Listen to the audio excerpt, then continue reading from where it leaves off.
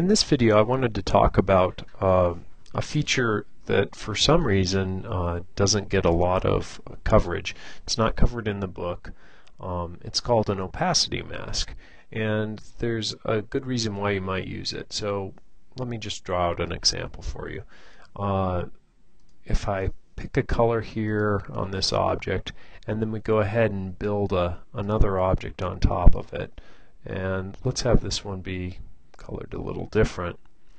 Um, you know, there's a couple of kinds of transparencies I can use. I, I can apply just the basic transparency to this, and transparency is affected across the entire object. Okay. Um, then, starting with CS4 and above, what was neat is that you could also, um, instead of having transparency take place across the entire object, you could apply transparency in blend steps. So if I apply a, a gradient to this and I click, I, am sorry, not blend steps, on gradient steps.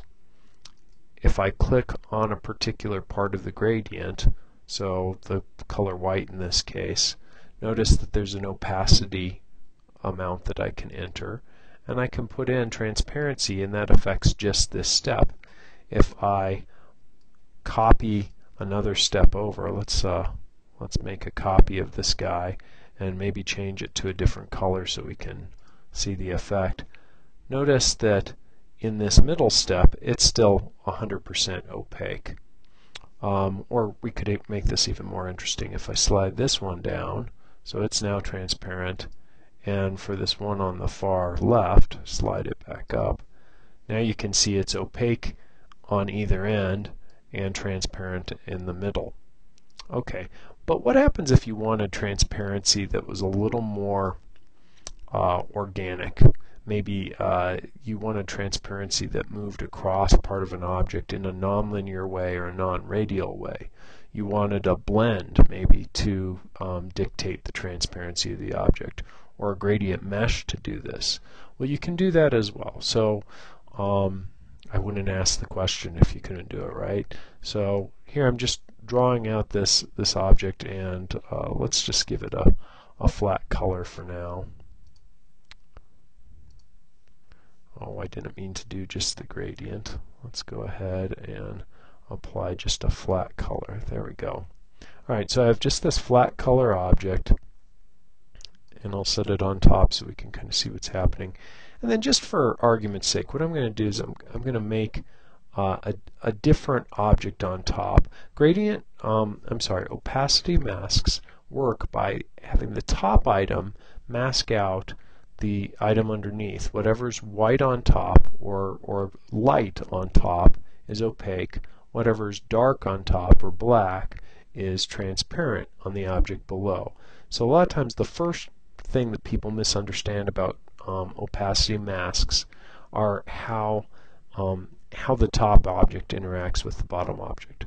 So I'm going to just draw out another object and I'm going to color it um, black just so that we can see how this how this is different because um, I just want to make that point. And then I'm going to get out um, the gradient mesh tool. I'm going to just add a couple of mesh points in here. And let's just color these things a little differently. So I'll make one white. Let's make one here somewhat in the middle, kind of a gray tone. Make this one near white. Over on the side here we could do something in the middle. And we'll leave this kind of a darker gray color. Now to make an opacity mask, what you do is you select the top object. Again, the top object's just this gradient mesh. And the object that you're gonna um, apply the mask to. So I'm just selecting both. And sometimes it works better to do this in outline mode, but we can see what we're doing here. And then the odd thing about it, you would think you would have an opacity mask down in the object menu somewhere but for whatever reason um, they, they don't have they don't have it there. It's in the transparency palette. I'm going to pop this open And in the options for transparency, I can choose Make Opacity Mask. Now when I do that, what happens is the top object disappears. And what was ever white in the top object, we have full opacity in the bottom object. And you can kind of see here the, the comparison. Whatever was black in the top object is now transparent in the bottom object. So an opacity mask, I think the exercise asks you to make some clouds using an opacity mask. An opacity mask provides you a much more subtle kind of transparency than the two types of transparency I described, either, either transparency across the whole object or transparency just in linear steps or radial steps in the object. So again, we could make a fluffy cloud. Um, why don't I just draw out a cloud here? I'm holding down Option so I can close this path. That was a great tip that somebody found about closing up pencil lines. Um, we'll just color this a flat color, a, a fluffy cloud color. Um, there we go, and I'll get rid of the uh, the stroke. Now to make this fluffy cloud actually fluffy, I'm going to copy it paste it directly on top of itself. So Command um, F or Control F if you're on the PC. And this front object, I'm going to first set its uh, fill to black. There we go. And then I'm going to scale it down a little bit. Change its pivot point just a little here.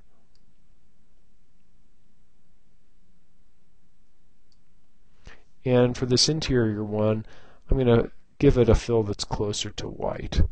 Now notice that it works with any color. I just like to think about black and white um, because it helps me think in terms of what's going to be opaque, what's going to be transparent.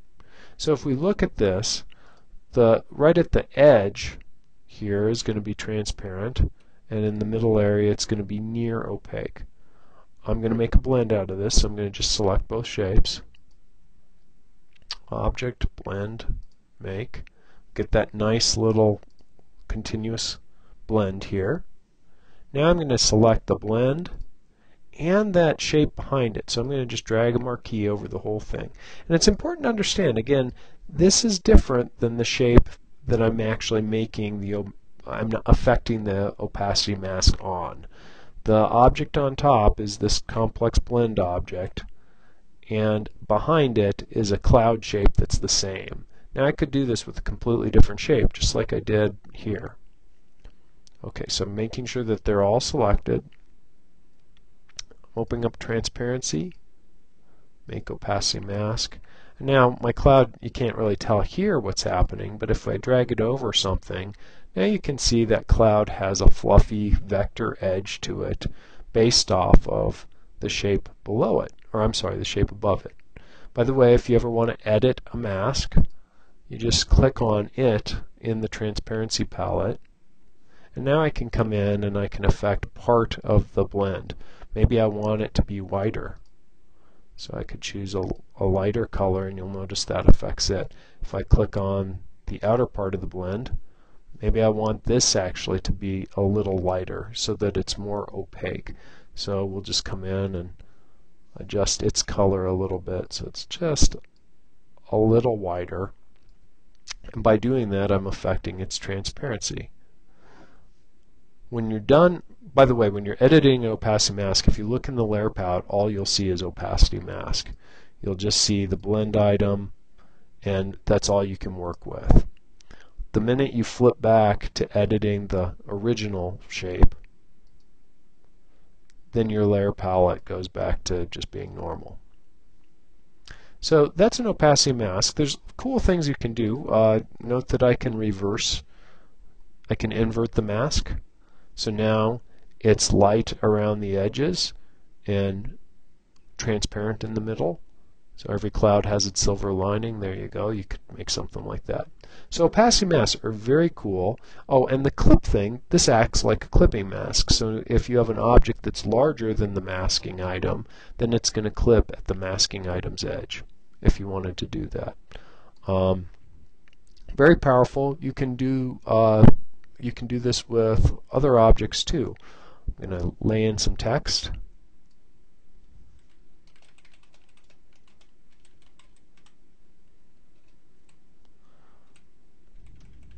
I should really get some lorem ipsum text, but I'm being lazy. Alright. To make this text a little bit smaller. Let's make it 9 point. And I'm going to adjust the leading on it so that it's nice and tight as well. And let's copy it and paste it just a little more.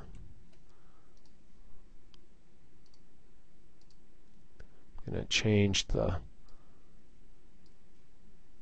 Oh, that doesn't look any good at all. Let's bring this in a little bit. Okay, now we've got a little bit of a text drag. Of course you would bring in real text instead of this. But I have text here. Now I'm going to place a graphic. Let's see if I can go out. Do I have any pictures? Um, you know what? I wonder if I'm missing a picture. Um, let's generate a picture real quick.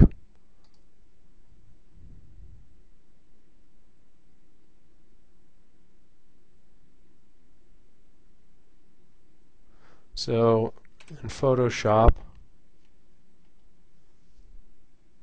ooh, that's huge. I don't want that. Um, 7 by 10, okay. Oh, did I do 7 by 10 pixels? I think I did. Sorry.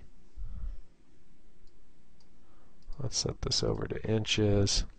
Let's have this be 7, 10 tall. Okay. Let's see if there's just want to generate some quick texture. That render clouds thing in Photoshop is a fun way to, to work. So I'll save this. This, you know, we could do all kinds of interesting things here, um, but but this will be good. This is what we need. So I'll just save this out to the desktop. Come back into Illustrator. We'll place that. Let's see, it's untitled.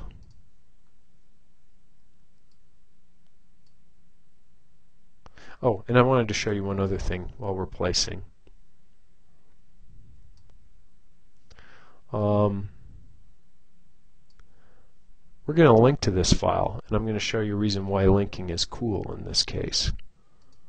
Alright, so we place it in. It's quite a bit bigger. We'll scale it down here so it's a little closer in size.